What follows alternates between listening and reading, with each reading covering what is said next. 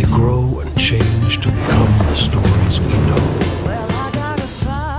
Wander the land, explore, meet people.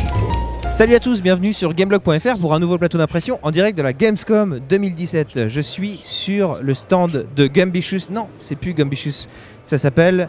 euh, putain, mais c'est. Oui, voilà, Good Shepherd, pardon. Et oui, ça vient de, ça de sortir, c'est comme ça. Je l'avais pas encore en tête. Donc, je suis euh, tout juste sorti euh, d'une session de jeu sur Where Water Tastes Like Wine, là où l'eau a le goût du vin. Euh, en français dans le texte. Euh, c'est un jeu un peu spécial, je vous le cache pas. C'est un jeu vraiment spécial. Je m'attendais pas du tout à ça. En gros, c'est très textuel euh, et c'est une histoire bien, bien, bien à part. En gros, au début du jeu, vous découvrez avec ce genre de graphisme, voilà, comme celui-ci, c'est-à-dire vaguement animé, des images vaguement animées. Vous incarnez un personnage qui arrive à une table de poker et qui perd. Et lorsqu'il euh, perd, eh ben, il perd euh, son âme aussi. C'est-à-dire qu'il finit par mettre tapis et, euh, et comme il a moins de tapis que le mec en face qui est en train de tout rafler, il se- il s'ouvre la main et il jure de, de servir la personne qui le fait, qui le fait perdre. Et à ce moment-là, cette personne s'avère être un- une espèce d'homme avec visage de loup. Et il lui dit voilà, écoute, je vais te demander d'aller à travers tous les États-Unis et de me ramener des histoires, des bonnes histoires, des histoires vraies, des histoires vécues par des vrais gens, etc. Et à ce moment-là, on dit bon bah ok, c'est parti. et, euh, et on part euh, en Amérique. Euh, on est tout à fait à l'est, on peut traverser d'est en ouest, revenir partout, etc. Et on a ce personnage qui marche sur la map, hein, vous devez le découvrir en image en même temps que je le dis, avec son baluchon comme ça, cette espèce de squelette avec un baluchon. Et il peut s'arrêter un peu partout et découvrir des histoires de gens.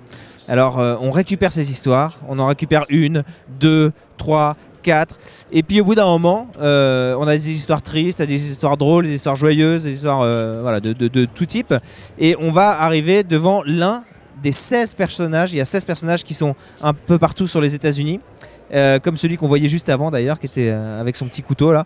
Et ben ces gens-là vous demandent de les abreuver en histoire. Alors vous leur balancez les histoires que vous avez trouvées, et le mec dit j'aimerais une histoire triste par exemple. Et si dans votre euh, set d'histoires que vous avez trouvé, bah, vous avez une histoire triste, vous lui racontez. Et à ce moment-là, peut-être que le mec va se confier à son tour et vous donner cette grosse histoire, l'une des 16, euh, que vous pourrez cumuler. Euh, et que lorsque vous les aurez toutes euh, groupées, vous pourrez revenir à la fin du jeu, voir le loup et voir euh, ce qu'il en est. Alors la force du jeu, c'est clairement pas, je veux dire, un gameplay incroyable, etc. C'est vraiment, c'est un jeu textuel. Donc tout est dans l'ambiance, tout est dans l'écriture.